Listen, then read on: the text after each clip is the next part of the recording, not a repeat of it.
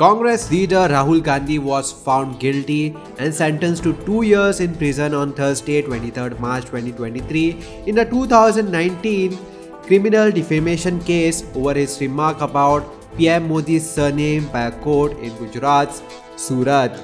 However, he was granted bail and his sentence was suspended for 30 days to let him appeal the decision.